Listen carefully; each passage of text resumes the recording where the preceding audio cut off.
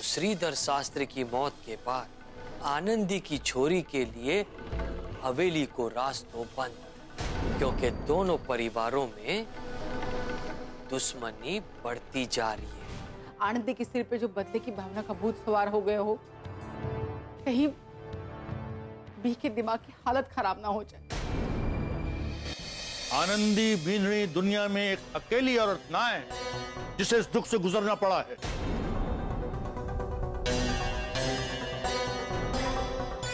हर वक्त दुश्मनी की आग जलाएगा। बिना इस बात को सोचे कि इस दुश्मनी की बातें से औरों की ज़िंदगी पे भी फ़र्क पड़ेगा।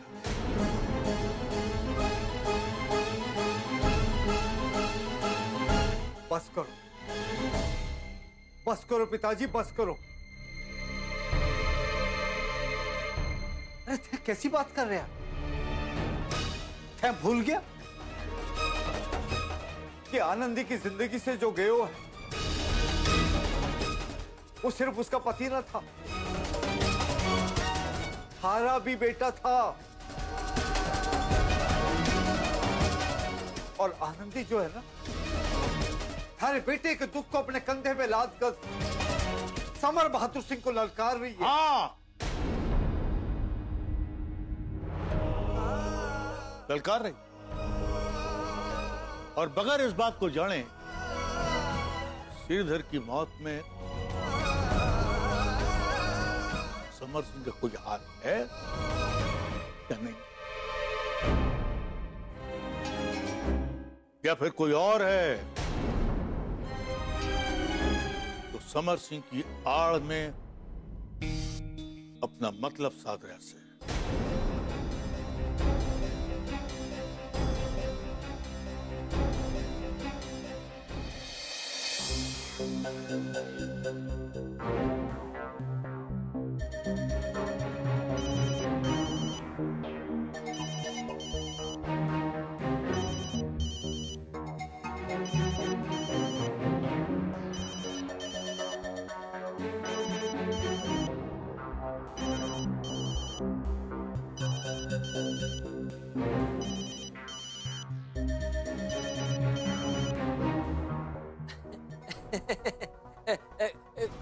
खम्मा गणी साहब जी झूठ ना बोलू पर आ, आ, आप ही के बारे में सोच रहे हो तो साहब जी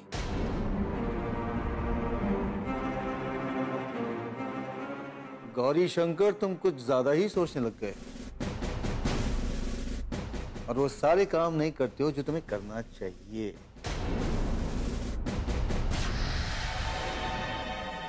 सा, साहब जी ना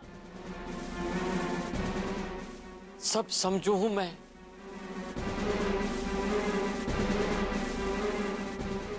अरे दोस्त, श्रीधर शास्त्री की मौत के बाद हमारे दिल को जो धक्को पहुंचियो है, मैं समझू हूँ। बस इसीलिए मैं सोचियो कि थारे को ज़्यादा और परेशान ना करूँ, बस। हाँ लेकिन वो अलग बात है कि तुम बात बात पर राज को फ़ोन करते रहते हो। और हमारी समझ में नहीं आ रहा है कि वो ऐसी कौन सी बात है जो तुम राज से कह सकते हो, लेकिन हमसे कहने में कतराते हो।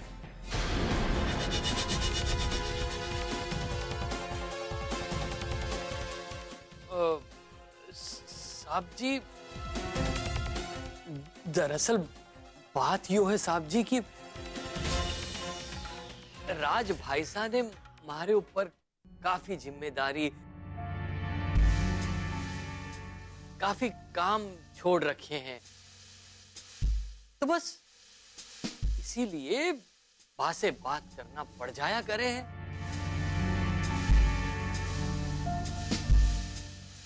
काम? कौन से काम? ओ, काम तो काम तो बहुत सारे हैं साहब जी। बहुत काम है। जी, सच बताऊँ तो साहब जी, राज भाई साहब बहुत परेशान है। राज भाई साहब थारे दुख को लेकर बहुत परेशान श्रीधर शास्त्री की घराड़ी को जो दुख हुआ है ना, उसकी वजह से थारे दिल को जो दुख पहुँचा है, उसके लिए राज भाई साहब बहुत परेशान और वैसे भी व्यापार में, धंधों में थारो ध्यान कोणी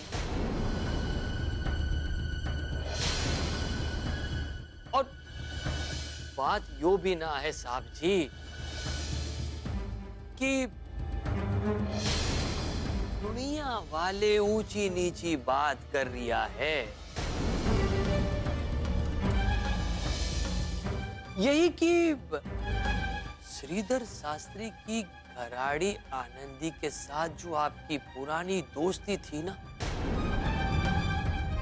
उसी की वजह से आपने ही श्रीधर शास्त्री को खून चुप रहिए गौरी शंकर अपने जबान को लगा दीजिए।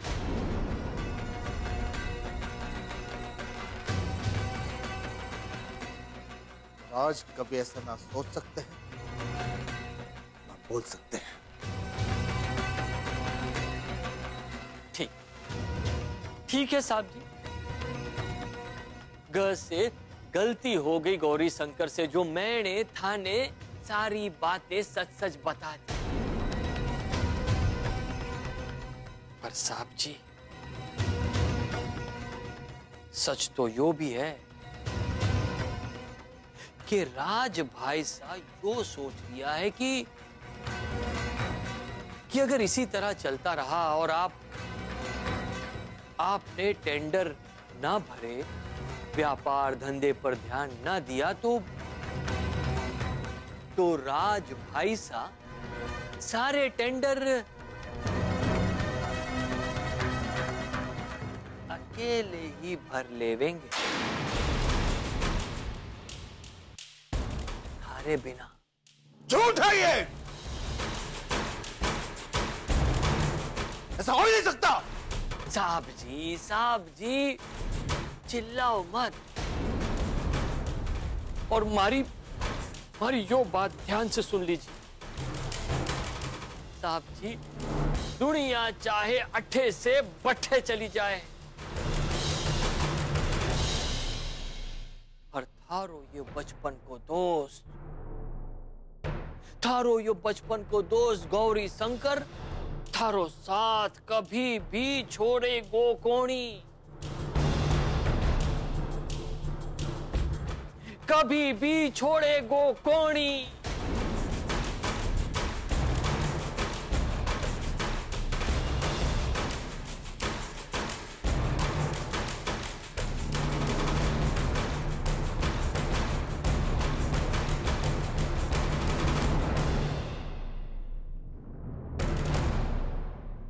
श्रीधर शास्त्री की घराड़ी आनंदी के साथ जो आपकी पुरानी दोस्ती थी ना उसी की वजह से आपने ही श्रीधर शास्त्री को खून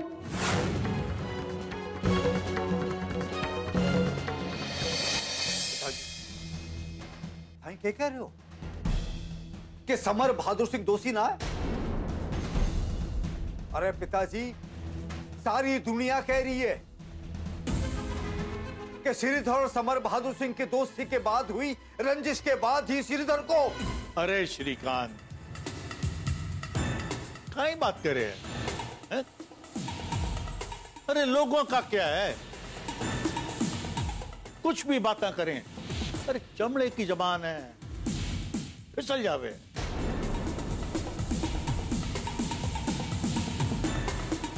पर मारा सोचना भी दुरुस्त है। जब तक थारे पास पक्के सबूत ना हो। श्रीधर खुद मरा कि वाको किसी ने मारो?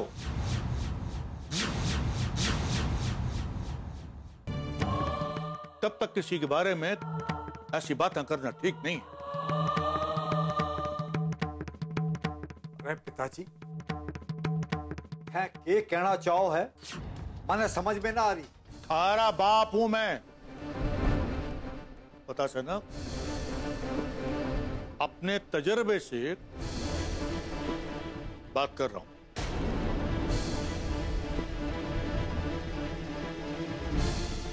मैं समर सिंह को उसके बचपन से जानू। वो किसी की जान ना ले सके और खासकर बिने तो उसका बचपन का दोस्त।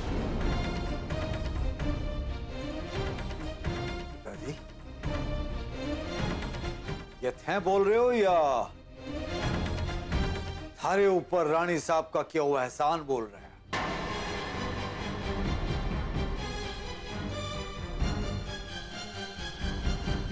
वाह, श्रीकांत, वाह।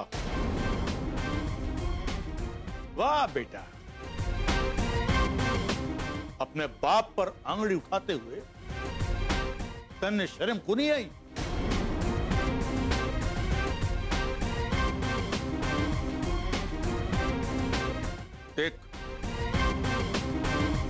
अगर तू हमारी बातों को ऐसे लेना चाहता है। ठीक है। पर भारी सोच अपनी जगह ऐसे ही रहेगी।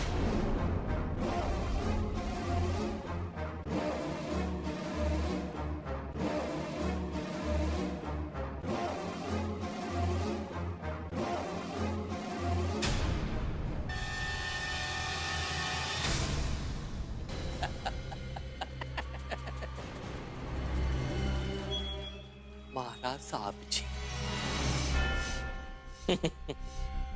मामा जी इसे कहते हैं हींग लगे ना फिटकरी और रंग भी आए चोखो। मन्ने तो यकीन ही ना हो रहे हो, है मामा जी कि एक समय को कान को इतनो पक्को साहब जी। कान को इतनो कच्चो भी हो सके। अब देखना, तेल और तेल की धार। भांजे ये तेल, ये धार। कभी सिर कढ़ाई में। भांजे, मुझे तेरी कोई बात समझ नहीं आ रही। मामा जी, थे तो बस बखत आने पर आम खाओ। गुटलियाँ गिनने की कोशिश ना करो। मैं तो साहब जी के बारे में सोच रहे हूँ। बेचारे, उलझा होगा हमारी बातें सुनकर। सोच रिया होगा, राज भाई साहब की गद्दारी के बारे में।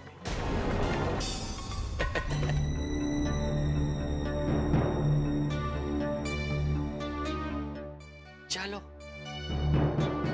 अब देखें बेचारे राज भाई साहब के सोचे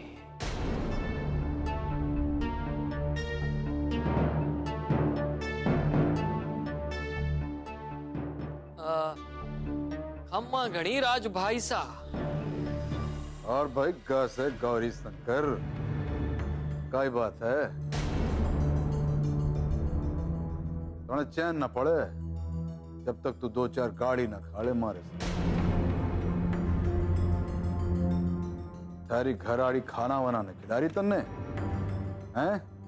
अरे रोटी और बोटी दोनों तो खा रहे हैं साहब जी।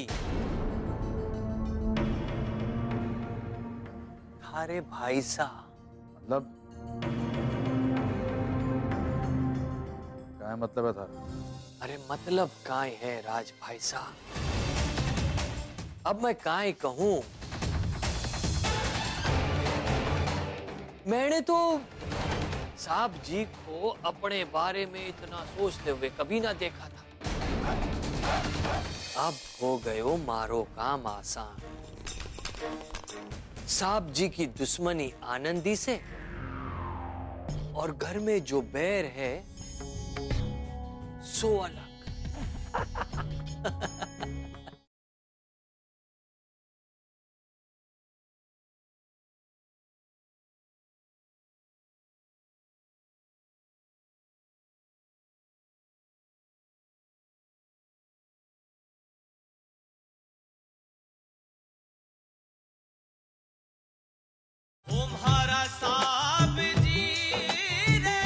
साहब जी को अपने बारे में इतना सोचते हुए कभी ना देखा था।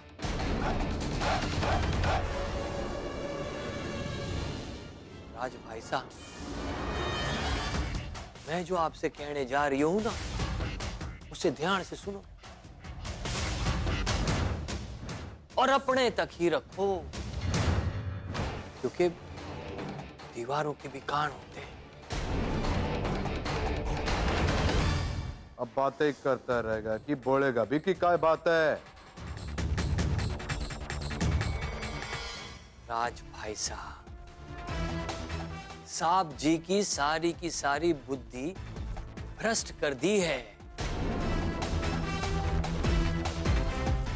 श्रीधर शास्त्री की लुगाई आनंदी ने और साहब जी तो बस ऊपर ही ऊपर से बी के संग दुश्मनी करे है। पर अंदर से तो उसी की मदद करना चाहे हैं साहब जी। और तो और। साहब जी को तो यो भी शक है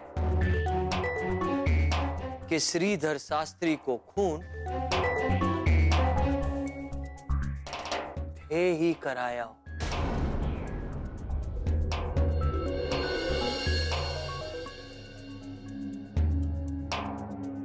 यह सब काय बकवास है।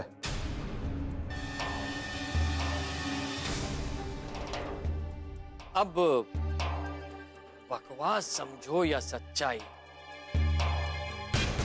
तो अब हमारी एक बकवास और सुन लो राज भाई साहब। कि साहब जी, अपना धंधा आपसे अलग करवाना चाहे हैं।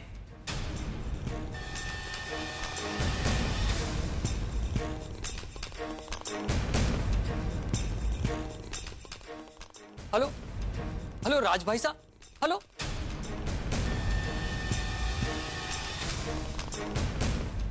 रख दियो।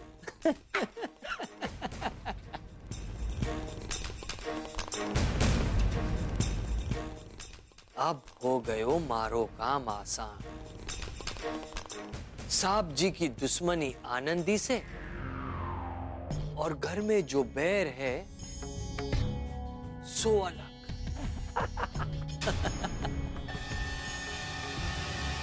अब आए वो मजो। मतलब भांजे पाँचों उंगलियाँ घी में और ये सर कढ़ाई में।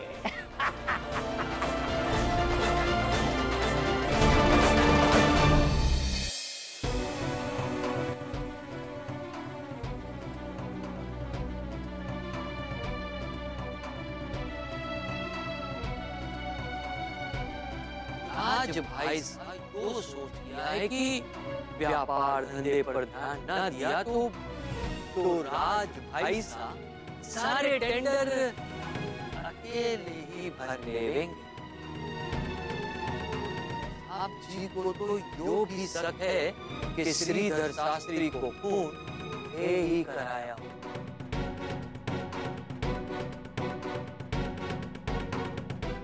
हमारी एक बकवास और सुन लो राज भाई साहब साहब जी, अपना धंधा आपसे अलग करवाना चाहे हैं।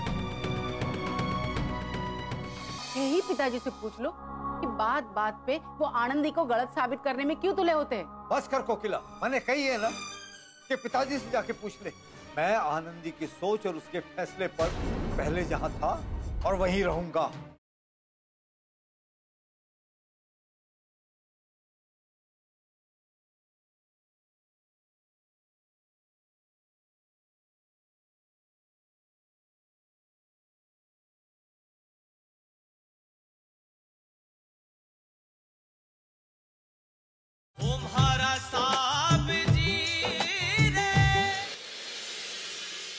अब फैमिली मैंने समझा ली।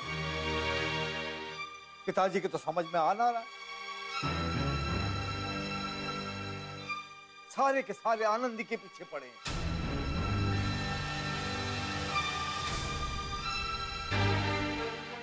पता नहीं, रानी साने और हवेली वालों ने बी पे कौन सा जादू कर दिया? या तो वो हमेशा डरने की बात करें?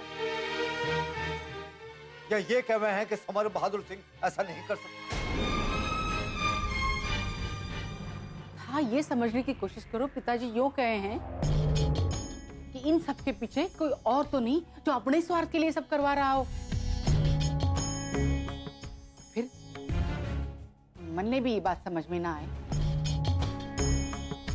समर भाई साहब बिना किसी दुश्मनी के ये सब क्यों करवा रहे हैं?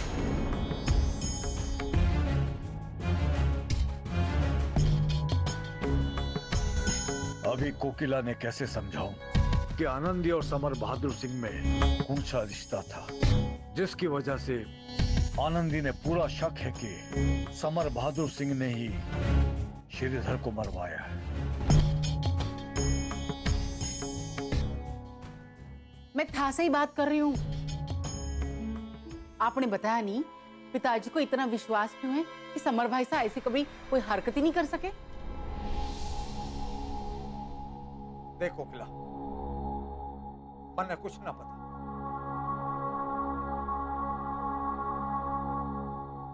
अगर तने ज़्यादा जानने की हो रही ना तो पिताजी से जाके पूछ ले। मन ने किसी से नहीं पूछना है। जब किसी को कोई पड़ी नहीं तो मन ने की? यही पिताजी से पूछ लो कि बात बात पे वो आनंदी को गलत साबित करने में क्यों तुले होते हैं? बस कर कोकिला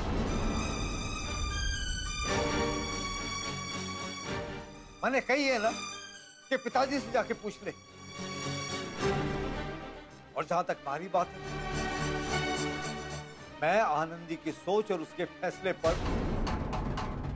पहले जहाँ था, वहीं हूँ और वहीं रहूँगा।